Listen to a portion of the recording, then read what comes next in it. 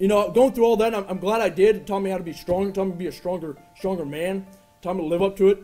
But you know, it, it taught me one thing that you know you're you're capable of anything. You can do anything as long as you put your mind to it. There's no excuse.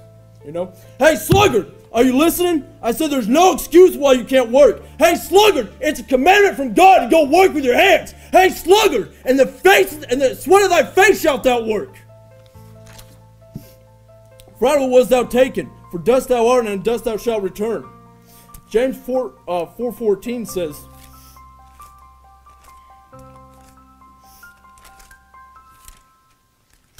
Four fourteen says, "Whereas you know what shall uh, be on the morrow, for what is your life? It is even but a vapor that appeareth for a little time, and then vanisheth away." You know, and we need we need to realize that our life is going to vanish, and that we only have a short time on this earth. So while, while we're here, we need to step up and do a whole lot more for the cause of Christ. Don't just be a Wednesday or Sunday uh, soul winner Christian, right? But also be an everyday soul winner, because every day thousands of people are going to hell. And I'm not saying you have to go out and you have to go knock doors every, you know, for the whole hour. Here's what I do: if I see someone alone by themselves, I just give them the gospel, right? Just do one a day, right? Don't don't get me wrong. You know, one soul is greater than whatever this world has to offer. What about two souls? What about three or a hundred souls or a thousand? How much more greater is that? Thousands of people are going to hell every day where the worm dieth not and where the flame is never quenched. And when they get there, it's too late. There's no coming back.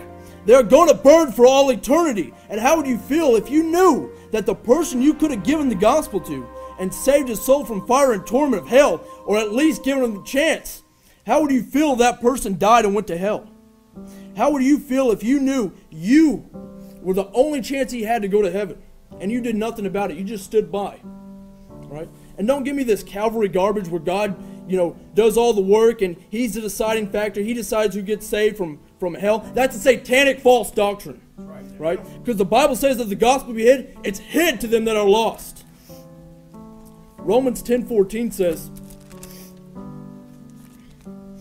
How then shall they call on him in whom they have not believed? And how shall they believe on him in whom they have not heard? How shall they hear without a preacher? And how shall they preach except they be sent? As written, how beautiful are the feet of them that preach the gospel of peace and bring glad tidings of good things. Right? But Stephen, you don't understand. I'm going to college and I'm working nights. I don't have time. I said the same thing. I can't do it. I still haven't read my Bible cover to cover yet. I said the same thing. Look, you don't get it. I'm too shy. I'm not a public speaker. People would be look at me like I'm funny. I said the same thing until one day a coworker from my job who was alone, wasn't busy with anything, all the right circumstances for giving him the gospel were lined up perfectly. God, God said, Hey, I want you to preach to this person. Right? But I didn't do that. Nope. I mean, it, w- it would have taken me 15 minutes easily. But I decided not to. I decided to put it off while I focused on my career.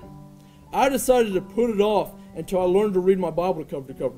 I decided to put it off until I learned how to be a, a more social and not so shy. Well, the next day, or that night, he committed suicide. And he died without hearing the gospel. And his blood's on my hands. Because it was my responsibility. I knew what I was supposed to do, but I didn't do it. And all these excuses now seem so stupid.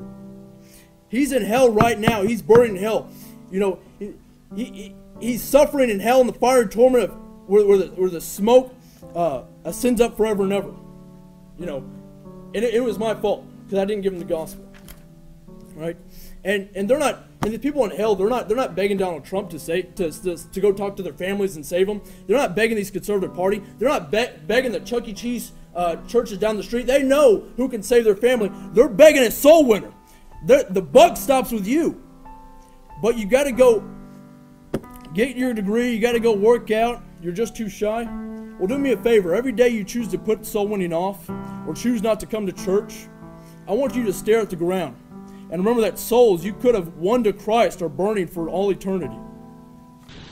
But if our gospel be hid, it is hid to them that are lost, in whom the God of this world hath blinded the minds of them which believe not, lest the light of the glorious gospel of Christ, who is the image of God, should shine unto them.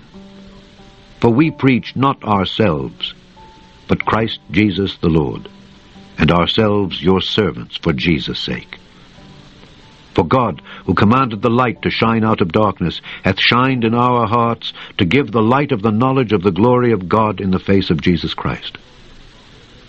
And I will give unto thee the keys of the kingdom of heaven. And whatsoever thou shalt bind on earth shall be bound in heaven, and whatsoever thou shalt loose on earth shall be loosed in heaven.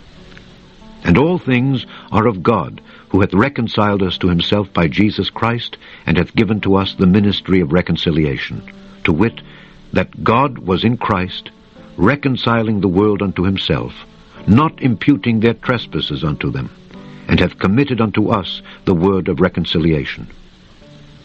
Now then, we are ambassadors for Christ, as though God did beseech you by us. We pray you, in Christ's stead, be ye reconciled to God. He that is not with me is against me and he that gathereth not with me scattereth abroad.